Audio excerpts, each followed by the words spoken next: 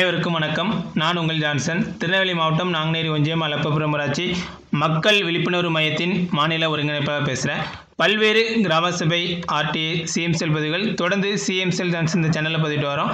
என்னுடைய வீடியோக்கள் பிடிச்சிருந்தால் லைக் பண்ணுங்கள் கமெண்ட் பண்ணுங்கள் தொடர்ந்து உங்களுக்கு வரணும்னா சப்ஸ்கிரைப் பண்ணி மறக்காமல் பெல் பட்டனை ப்ரெஸ் பண்ணுங்கள் இன்றைக்கி நம்ம என்ன வீடியோ பார்க்க போகிறோம்னா இது வரைக்கும் நான் யூடியூப்பில் சர்ச் பண்ணி பார்த்தேன். யாரும் இந்த வீடியோ போடலை. ஐ திங்க் நம்ம ஃபஸ்ட்டாக அந்த வீடியோ லான்ச் பண்ணுறோம் எது தொடர்பான வீடியோனா தமிழ்நாட்டில் ஆர்டிஐ ஆன்லைனில் சப்மிட் பண்ணலான்னு சொல்லி புதுசாக பீட்டா வெர்ஷன் ரிலீஸ் பண்ணியிருக்காங்க. அதாவது ஆல்ஃபா பீட்டா காமான்னு சொல்லுவாங்க. ஆல்ஃபானா அஃபிஷியல் லெவலில் டெஸ்டிங் பண்ணி பார்ப்பாங்க. பீட்டா வந்து மக்களுக்கும் லைட்டாக ட்ரையல் கொடுப்பாங்க. ஒரு சிலருக்கு ஆக்சஸ் வந்து அதாவது என்ன மாதிரி ஸ்ட்ரக் ஆகுது என்னெல்லாம் நோ இன்க்ரீஸ் பண்ணணும் அப்படிங்கிறத செக் பண்ணுறது அடுத்தது பீட்டா காமா அது வரும்போது மொத்தமாக எல்லாருமே அப்ளை பண்ணாலும் ஒர்க் ஆகிற லெவல் கொண்டு வந்துடுவாங்க இது பீட்டா வெர்ஷனில் போயிட்டு இருக்குது. இதில் எப்படி பண்ணணும் எப்படி பண்ணலாம் ஒரு டெமோ வீடியோ ஃபுல்லாக நம்ம இதில் பார்க்க போகிறோம் தற்போதைக்கு ஃபீஸ் வந்து ஒன் ருபி வச்சுருக்காங்க டெஸ்டிங் இது அந்த gamma version live version demo அது டெமோலேருந்து லைவாக போகும்போது ஐ திங்க் டென் ருபீஸ் நம்ம ஏற்கனவே ஆர்டிக்கு ஃபீஸ் பே பண்ணணும். ஒருவேளை இந்த ஆன்லைன் ஆர்டிக்கு எதுவும் ஃபீஸ் எதுவும் கவர்மெண்ட் ஆர்டிகளில் சேஞ்ச் பண்ணி அமௌண்ட்டு சேஞ்ச் பண்ணுறாங்களாங்கிறது கரெக்டாக தெரியலை. நம்ம எதிர்பார்ப்போம் என்ன அறிவிக்காங்கன்ட்டு ஏன்னா ஆன்லைன் பேஸில் வந்துன்னா எளிதாக நமக்கு தபால் செலவு தேர்ட்டி ருபீஸ் டுவெண்ட்டி ருபீஸ் மிச்சம் தான். கூட டென் ருபீஸில் இன்க்ரீஸ் பண்ணாலும் பெஸ்ட்டு என்னுடைய வீடியோக்கள் பிடிச்சிருந்தால் லைக் பண்ணுங்கள் கமெண்ட் பண்ணுங்கள் தொடர்ந்து உங்களுக்கு ஒன்றா மறக்காமல் சப்ஸ்கிரைப் பண்ணி பெல் பட்டன் ப்ரெஸ் பண்ணுங்கள் நிறைய வீடியோக்கள் சமீப காலத்தில் ஆன்லைன் சம்மந்தப்பட்ட நிறைய வீடியோக்கள் தொடர்ந்து என்னோட சேனலில் பதிவிட்டு வர PAN card letter voter ID ration card ஒரு மக்களுக்கு அடிப்படையாக நம்ம என்னெல்லாம் வெளியே இன்னைக்கு தேவைப்படுதோ அந்த விஷயங்கள் அனைத்தும் எப்படி கரெக்ஷன் பண்ணுறது எல்லாமே ஆன்லைனில் பதிவிட்டுருக்கேன் பொறுமையாக டைம் இருக்கும்போது பிளேலிஸ்ட்டில் போய் பாருங்கள் எல்லாமே தொகுப்புகளாக இருக்கும். அதாவது ஆன்லைன் க கவர்மெண்ட் சம்மந்தப்பட்டது கிராம சபை சம்மந்தப்பட்டது கிராம சபை தொகுப்புகளாக இன்னும் ஜிபிடிபி ஆர்டிஐ எல்லாமே தொகுப்புகளாக நிறைய வீடியோக்கள் இருக்குது. கண்டிப்பாக பிரோஜனமாக இருக்கும். இந்த ஆர்டிஐ இதில் நம்ம பண்ணுறதுக்கு முன்னாடி ஒரு சின்ன தகவல். தமிழ்லேயே அவங்க பிடிஎஃப் கொடுத்துருக்காங்க. அதை பார்த்துட்டு போவோம். ஏன்னா டவுட்ஸ் வரும். உங்களுக்கு நிறைய கேள்வி வரும். எப்படி பண்ண என்னெல்லாம் பண்ணலான்ட்டு. அது அவங்களுக்கு தெளிவாக இறங்கி கொடுத்துட்டாங்க. இதுதான் ஹோம் பேஜில் அப்படி இங்கிலீஷில் உள்ளே போகும்போது இருக்குது. நம்ம ஆர்டிஐ ஃபைல் பண்ணால் ஆட்டோமேட்டிக்காக அவங்களுக்கு போர்ட்டல் அவங்களுக்கு போகும். அப்புறம் அவங்க டாக்குமெண்ட் டவுன்லோட் அவங்க மெயிலுக்கு போகும். டவுன்லோட் பண்ணிட்டு அவங்க டீட்டெயில் ரெடி பண்ணிட்டு நமக்கு போர்ட்டலில் அப்லோட் பண்ணி தந்துடுவாங்கன்னு நம்புகிறேன் எனக்கு தெரிஞ்சு ஆன்லைனில் அந்த மாதிரி தான் ட்ரை பண்ணியிருக்காங்க பிடிஎஃப் ஃபைல் இருக்குது. அதில் கொஸ்டின் ஆன்சர் இருக்குது. இது என்னோடய வீடியோட லிங்க்லேயும் கீழே இருக்கும். நீங்கள் தாராளமாக பயன்படுத்திக்கலாம். தமிழ்லே கொடுத்துருக்காங்க இங்கிலீஷ்லேயும் கொடுத்துருக்காங்க. எந்த பொது அதிகார அமைப்பிடம் நான் கோரிக்கை மனுவை அளிக்க வேண்டும்? ரெண்டாயிரத்தி ஐந்தாம் ஆண்டு தகவல் பெறும் உரிமை சட்டத்தின் கீழ் யாதொரு தகவல் பெற விளைகின்ற விண்ணப்பத்தர அரசு துறைகள் மற்றும் தமிழ்நாடு அரசின் இதர பொது அதிகார அமைப்புகள் மீது இந்த அந்த வெப்சைட் மூலமாக விண்ணப்பம் அளிக்கலாம். ரெண்டாயிரத்தி ஐந்தாம் ஆண்டு தகவல் பெறும் உரிமை சட்டத்தின்படி தகவல் கோருவதற்கான விண்ணப்பத்தை நான் எவ்வாறு எழுத வேண்டும்? அதாவது படிவ வரவேற்கப்பட்டதில் விண்ணப்ப விவரங்கள் அதாவது இப்படி தான் இருக்கும் கட்டாயம் இல்லை. நமக்கு என்ன தேவையோ அதை வந்து கேட்கலாம். ஆன்லைனில் த்ரீ தௌசண்ட் கேரக்டர் வரைக்கும் சப்மிட் பண்ணலாம். உங்களுக்கு சப்போர்ட் டாக்குமெண்ட் தேவைப்பட்டுனா அதையும் அட்டாச் பண்ணிக்கலாம். அதை மென்ஷன் பண்ணிவிடுங்க சப்போர்ட் டாக்குமெண்ட் அது எப்படிங்கிறத நான் உங்களுக்கு ஷோ பண்ணி காமிக்கேன். கட்டணத்தை எவ்வாறு செலுத்த வேண்டும்? இந்த டீட்டெயில் எல்லாமே இதில் ஃபில் பண்ணிவிட்டு அதாவது நீங்கள் வந்து வறுமைக்கு கீழே உள்ளவங்கன்னா சப்மிட் பத்து ரூபா அந்த ஃபீஸ் பே பண்ண தேவையில்ல. வறுமை கோட்டுக்கு இல்லாதவங்களுக்கு கண்டிப்பாக இது தேவை. இது எப்படி செலுத்தலாம்னா இந்த டீட்டெயில் அந்த பேஜில் எல்லாம் சப்மிட் பண்ணிட்டு சப்மிட் கொடுக்கும்போது ஃபில் பண்ணி சப்மிட் கொடுக்கும்போது பேஜ் பேமெண்ட் பேஜுக்கு ரீடைரக்ட் ஆகுது. ஒரு சில பேங்க்கு சார்ஜஸ் வச்சுருக்காங்க ஒரு சில பேங்க் ஃப்ரீயாக கொடுத்துருக்காங்க. அது எப்படிங்கிறத நம்ம பார்ப்போம். ஒரு விண்ணப்பதாரராக தகவல் பெறும் உரிமை சட்ட விண்ணப்பத்தை இணையவழி நான் தாக்கல் செய்வதற்கு ஏதேனும் எனக்கு பச்சு அதாவது ஒப்புகை சீட்டு எதுவும் கிடைக்குமான்னு கேட்டால் அவங்க என்ன கொடுத்துருக்காங்கன்னா விண்ணப்பதாரர் இந்த எண்ணை பயன்படுத்து அதாவது உங்களுக்கு எஸ்எம்எஸ் வரும் அப்படின்னு கொடுத்துருக்காங்க இல்லை மெயிலுக்கும் வரும்ட்டு ஆனால் இன்றைக்கி நான் ஏற்கனவே ஒரு ஆர்டிஐ மாடல் செக் பண்ணி பார்த்துட்டேன் எனக்கு வரல. அதுக்கும் அவங்க என்ன கொடுத்துருந்தாங்கன்னா இது நாங்கள் வந்து எங்கள் பக்கெட்டுக்கு வந்ததுக்கப்புறம் கண்டிப்பாக உங்களுக்கு அனுப்பி வைப்போம். அந்த ட்ராக்கிங் நம்பரை உங்கள் மெயிலுக்கும் ஃபோனுக்கும் வரும்னு சொல்லி கொடுத்துருக்காங்க. அடுத்த கேள்வி ஒரு முக்கியமான கேள்வி. கூடுதலும் கட்டணம். இப்போ நம்ம தகவல் கட்டிருப்போம் அது நூறு பக்கம் இருக்குது அது எப்படி கட்டலாம்? விண்ணப்பதாரர் கோருகின்ற தகவல்களை அளிப்பதற்கு கூடுதல் கட்டணம். அதை நகல் எதுவும் கட்டணம் வெளுத்தணும்னா அதில் வந்து ட்ராக் ஸ்டேட்டஸ் பார்க்கலாம். அதை விண்ணப்பத்தின் நிலை அதை பார்த்துட்டு அந்த இடத்துல பேமெண்ட் கட்டணுங்கிற ஆப்ஷனை அவங்க லிங்க் கொடுத்துருப்பாங்க. அந்த ஆப்ஷனில் நம்ம கேட்க பே பண்ணிட்டா ஆட்டோமேட்டிக்காக அவங்களுக்கு இவங்க பே பண்ணிட்டாங்கன்னு சொல்லி போயிடும் அதுக்கப்புறம் அவங்க தகவலை அப்லோட் பண்ணி நமக்கு அனுப்புவாங்க. முதலாவது மேல்முறையீட்டாளரிடம் நான் எவ்வாறு மேல்முறையீடு தாக்கல் செய்யணும்? மேல்முறையீடு செய்வதற்கு விண்ணப்பதாரர் தகவல் பெறும் உரிமை சட்டத்தின் இணையவழி விலை இந்த இந்த வெப்சைட்டில் ஃபர்ஸ்ட் அப்பீல் அப்படிங்கிற ஒரு ஆப்ஷன் கொடுத்துருக்காங்க. முதல் மேல்முறையீடு அது வழியாக அப்பீல் பண்ணலாம். பண்ணும்போது அசல் விண்ணப்பத்தின் பதிவெண் தகவல் குறிப்பிற்காக பயன்படுத்தலாம். அந்த ஏற்கனவே உள்ள உங்களுக்கு கிடைத்த ரெஃபரன்ஸ் நம்பரை அதில் மென்ஷன் பண்ணணும். தகவல் பெறும் உரிமை சட்டத்தின் இணைய அதாவது வெப்சைட் வாயிலாக தாக்கல் செய்யப்பட்ட மேல்முறையீடு சம்பந்தப்பட்ட துறை பொது தொது அதிகார அமைப்பின் ஒருங்கிணைப்பு அலுவலர் மின்னணு வடிவில் செஞ்சடையும் இதில் நீங்கள் சப்மிட் பண்ணிட்டீங்கன்னா ஆட்டோமேட்டிக்காக உங்களுக்கு ஒரு பிடிஎஃப் கணக்காக ஆட்டோமேட்டிக்காக உங்களுக்கு போயிடும் முதல் மேல்முறையீட்டு அலுவலரை இன்னும் விண்ணப்பம் செஞ்சடையாது ஒருங்கிணைப்பு அலுவலர் அந்த அந்த மேல்முறையீட்டு மனைவி சம்பந்தப்பட்ட மேல்முறையீட்டு அலுவலருக்கு மின்னணு வடிவில் அல்லது நேரடியாக அனுப்பி வைப்பார். மேல்முறையீடு தாக்கல் செய்வதற்கு நான் எதுவும் கட்டணம் செலுத்த வேணுமா ஃபர்ஸ்ட் அப்பீல் பண்ணுறதுக்கு நீங்கள் எதுவும் பே பண்ணணுமா? இல்லை. தேவையில்லை. அது நிறைய பேர் கேட்பீங்க ஸ்டாம்ப் போட்டுமான்னு சொல்லி. இது ஆன்லைன்லேயும் தேவையில்லை. தகவல் பெறும் உரிமை சட்டத்தின் இணைய அதாவது வெப்சைட்லேருந்து எதுவும் குறிஞ்செய்தி எனக்கு வருமா? கட்டாமலை என்றாலும் விண்ணப்பத்தாரர் மேல்முறையீட்டுதாரர் குறிஞ்செய்தி பிறகாக அவரின் கைபேசி எண்ணை அளிக்கலாம். அதாவது நீங்கள் நம்பர் கொடுத்தீங்கன்னா கண்டிப்பாக உங்களுக்கு வந்து நோட்டிஃபிகேஷன் வந்து வரும். பின்னர் ஏற்படுத்தப்படும் போட்டிருக்கு. கட்டாயம் இப்போதைக்கு ஸ்டார் மார்க் போடலை. ஓகே இந்த வெப்சைட் தொடர்பாக எனக்கு நிறைய சந்தேகங்கள் இருக்குது அதை நான் யார் அணுகணும்னா RTI support at TN dot government dot in இந்த மின்னஞ்சலுக்கு மெயில் அனுப்புனீங்கன்னா அவங்க உங்களுக்கு கண்டிப்பாக சப்போர்ட் பண்ணுவாங்க. எதுவும் சந்தேகனாலும் கூட என்னுடைய number nine five double zero one nine four three nine five இந்த நம்பருக்கு நீங்கள் கால் பண்ணிங்கன்னா ஈவினிங் சிக்ஸ் தேர்ட்டிக்கு மேலே இல்லை செவன் தேர்ட்டிக்கு மேலே கால் பண்ணிங்கன்னா ஃப்ரீயாக இருந்தால் கண்டிப்பாக ரிப்ளை பண்ணுவேன்.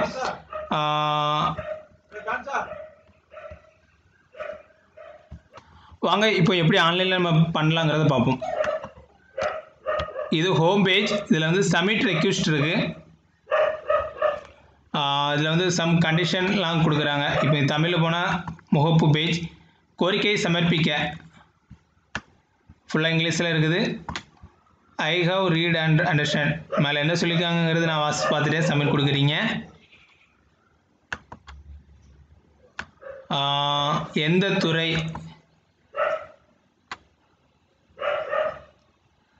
இது தமிழ் லாங்குவேஜ் சூஸ் பண்ணால் ஹிந்தியில் வருது. என்ன சொல்லன்னு தெரியல. ஸோ நான் இங்கிலீஷ்லேயே போகிறேன் இதுலேயும் சொல்ல விரும்பலை என்னங்கிறத ஆனால் புரிஞ்சுக்கிடுங்க.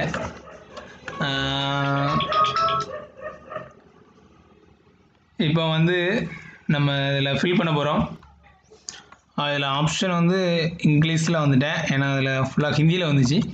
பெயர் என்னுடைய பெயர் டைப் பண்ணுறேன்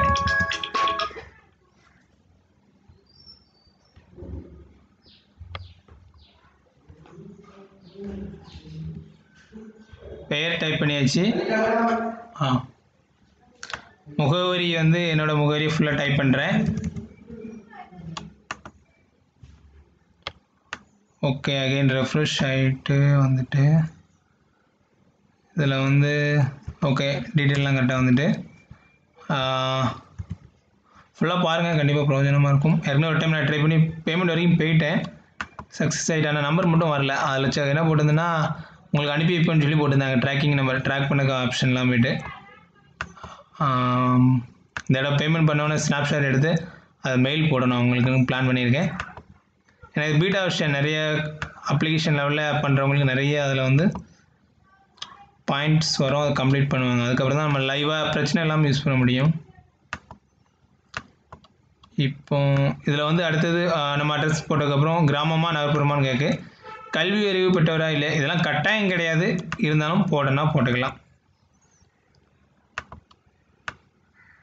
தொலைபேசி எண் கட்டாயம் இல்லை. மொபைல் நம்பர் எஸ்எம்எஸ் உங்களுக்கு வரணும்னா போட்டுக்கிடுங்க. மெயில் ஐடி நான் என்னோட மெயில் ஐடி டைப் பண்ணுறேன்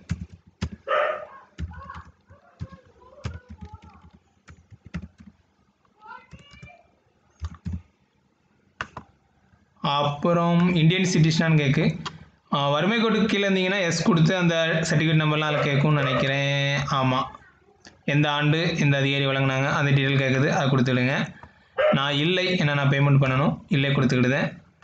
அதுக்கப்புறம் ஆர்டிஐ டீட்டெயில் இதில் அடிக்கணும்.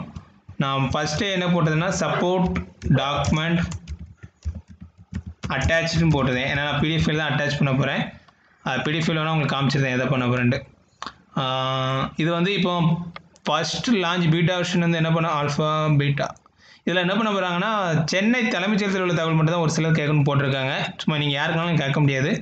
ஸோ அந்த ஆஃபீஸ் சம்மந்தப்பட்ட ஒரு சில தகவல்களை நான் இதில் ரெடி பண்ணியிருக்கேன்.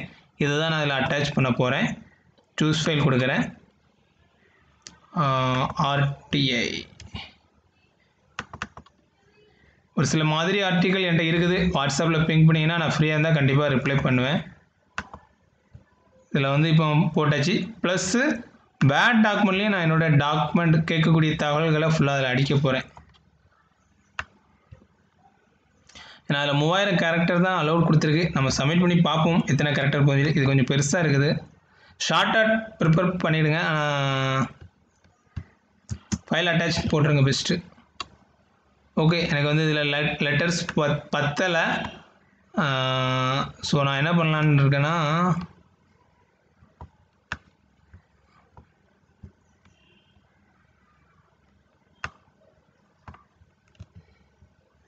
அதில் கொஞ்சம் கட் பண்ணி பேஸ்ட் பண்ணலான்னு இருக்கேன். நம்ம பிடிஎஃப் ஃபைலில் ஃபுல் டீட்டெயில் போட்டிருக்கேன். ஆன்லைனில் போடுறதுல கொஞ்சம் தேவையான தகவல்கள் மட்டும் போடுவோங்கிற மாதிரி பார்த்துருக்கேன். எல்லா தகவலையும் போட்டால் நமக்கு வந்து அக்செப்ட் பண்ண முடியல. அதனால் டீட்டெயில் குறைச்சி என்ன கேட்க போகிறோமோ அதை மட்டும் அதில் போட்டுட்டு டீட்டெயில் ஃபீடிப் வந்து அதில் உள்ள அப் அது போட்டோம். அதை முதல் லைன்லேயே போட்டோம். இதுதான் நான் கேட்டிருக்கேன்ட்டு. ஓகே. ஐ திங்க் இதுலேயுமே ஃபுல்லாக போட முடியலை. ஃபுல்லாக போட முடியல. சரி இருக்கட்டும். இப்போ வந்து அடுத்து வந்து இந்த கோடு டைப் பண்ணிட்டு பேமெண்ட் பேஜுக்கு ரீடைரக்ட் ஆகும். ஒரு சில பேங்க் பேமெண்ட் ஃப்ரீயாக கொடுத்துருக்காங்க ஒரு சில பேங்க் காஸ்ட் கொடுத்துருக்காங்க. திரும்ப எல்லா டீட்டெயிலும் ஒருக்கா எக்ஸ்பிளைன் பண்ணியிருந்தேன். இல்லை ஆப்ஷன் வந்து இப்போதைக்கு சென்னை மட்டும் தான் கொடுத்துருக்காங்க எல்லா அதாவது செக்ரட்டரியேட் மட்டும் தான் அந்த டீட்டெயில் கிடைக்கிற மாதிரி அந்த ஹோம் பேஜில் போட்டுதாங்க. எல்லா டிபார்ட்மெண்ட்டும் இதில் இன்னும் ஒன் பண்ணி ஒன்றா ஆட் பண்ணுவாங்க. உங்கள் பேர் ஆனா பெண்ணா அட்ரஸ்ஸு அஞ்சல் குறியீடு அப்புறம் நாடு மாநிலம் அந்த டீட்டெயில் கிராமம் அப்புறம் கல்வியறிவு அப்புறம் உங்கள் ஃபோன் நம்பர் உங்கள் மெயில் ஐடி இந்தியன் சிட்டிஸ்னால் வறுமை கொடுக்குற கீழே உள்ளவங்களாம் ப்ளஸ் ஆர்டிக்கு பயன்படுத்தும் போது only alphabetic A to Z number special character allowed இந்த டெஸ்ட்டு இது மட்டும்தான் அலோடுன்னு போட்டிருக்காங்க. வேறு எதுவும் போட்டால் அலோடு ஆகாது எரர் அடிக்கும். ஆர்டிக் வந்துட்டு இது மட்டும்தான் அலோடு ஸோ மற்ற வேறு எதுவும் யூஸ் பண்ணால் எரர் அடிக்கும் சப்மிட் ஆகாது. அதை கவனமாக இருந்துக்கிடுங்க. இப்போ சப்மிட் கொடுக்குறேன். பேமெண்ட் பேஜுக்கு ஏர்லியராக கொஞ்சம் லோட் ஆகி ஆனால் போச்சுது. ஓகே. இதில் வந்து தெளிவாக போட்டிருக்காங்க do not use refresh and back button browser இதில் வந்து ரெஃப்ரெஷும் பண்ணாதீங்க பேக்கும் போகாதீங்க. Charges payable RTI fee and other up applicable charges taxes டேக்ஸும் அவைல அப்ளிகபிள் தான் போட்டிருக்காங்க. Okay. In case amount debited your registration number but not amount உங்கள் அக்கௌண்ட்டில் போயிட்டு ரிஜிஸ்ட்ரேஷன் நம்பர் வரலன்னா it would be sent to your later organisation கொஞ்சம் கழித்து உங்களுக்கு வந்துடும் போட்டிருக்காங்க. இந்த பீட்டா வெர்ஷனில் அமௌண்ட் பே பண்ணுறதுக்கு வந்து ஒன் ருபி தான் கொடுத்துருக்காங்க. ஆர்டே ஆன்லைன் பேமெண்ட் தான். ஆன்லைன் வழியாக தான் இந்த வெப்சைட்டு ஸோ ஆன்லைன் பேமெண்ட்டும் ஆன்லைன் தான். கோட் ஃபீஸ் ஸ்டாம்ப் இனிமேல் எக்ஸ்ட்ரா அமௌண்ட் நம்ம வாங்க வேண்டிய தேவையில்லை. அதனால் எங்கள் ஊரில் பத்து ரூபா ஸ்டாம்பு பதினோருவா பன்னெண்டு ரூபா வரைக்கும் அப்படி தான் கிடைக்க மாட்டேங்கிற கோர்ட்டுக்கு போனால் ஒரு சில எல்லாம் கிடைக்குது. இப்போ பேமெண்ட் கிளிக் பண்ணுறேன் இதில் நம்ம போட்டதில் நிறைய கேரக்டர்ஸ் எரர் அடிச்சிருக்கு. ஒரு சில தகவல்கள் வந்து அக்செப்ட் பண்ணிவிட்டு லோட் ஆகிட்டு இருக்குது do not refresh and back button process அது சொல்லியிருக்காங்க. நம்ம டைப் பண்ண தகவல் இங்கே வந்துட்டு இதை வெயிட் பண்ணி தான் ஆகணும் ஆனால் சக்ஸஸ்ஃபுல்லாக ஒன் ருபி நான் பே பண்ணேன். ஆனால் எனக்கு டில் நான் அந்த ரிஜிஸ்ட்ரேஷன் நம்பர் எதுவும் வரல. இருந்தோ இருந்தாலும் நம்ம வந்து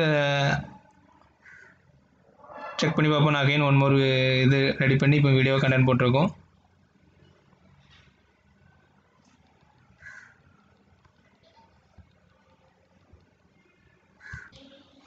பேமெண்ட் பேஜ் வந்துட்டு இதில் அதர் பேங்க் போனீங்கன்னா ஆறுரூபா எஸ்பிஐ வழியாக பே பண்ணிங்கன்னா சார்ஜஸ் கிடையாது. டெபிட் கார்டு ருபே கார்டுக்கு சார்ஜஸ் கிடையாது. அதர் பேங்க் டெபிட் கார்டுக்கும் சார்ஜஸ் கிடையாது. கிரெடிட் கார்டில் பண்ணிங்கன்னா பன்னிரெண்டு ரூபா நான் வந்து நெட் பேங்கிங் யூஸ் பண்ணுறேன் எஸ்பிஐயில் எனக்கு அக்கௌண்ட் இருக்குது. அதில் நான் பே பண்ண போகிறேன் நீங்கள் உங்களுக்கு எதில் அக்கௌண்ட் இருக்கோ அதில் பே பண்ணுங்கள் ஆனால் எஸ்பிஐயில் பே பண்ணால் ஃப்ரீ பே பண்ணிட்டு எனக்கு நோட்டிஃபிகேஷன் எப்படி இருக்குங்கிறது அடுத்தது உங்களுக்கு இப்போ ஷோ பண்ணுறேன்